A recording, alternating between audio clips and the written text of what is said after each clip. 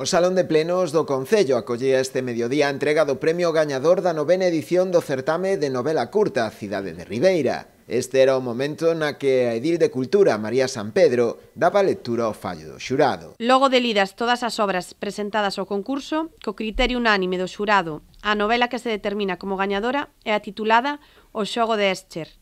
Aberta aplica baixo o seudónimo Andros Anderson.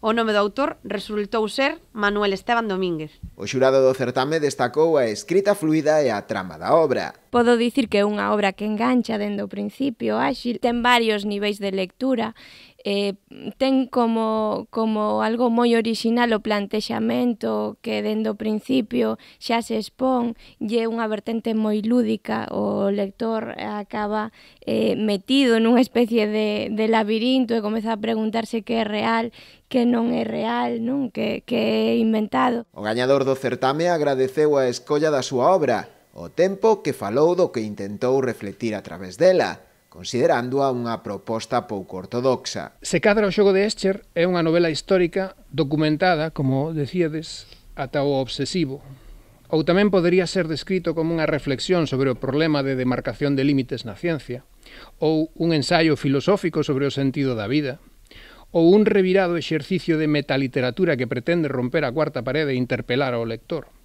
Ou se cadra, o xogo de Escher non é nada de todo iso e só é un libro que fala sobre un libro titulado O xogo de Escher. O premio está dotado cun cheque de 3.000 euros e a publicación da obra na colección de narrativa de Xerais, e que se fará previsiblemente para a primavera de 2024.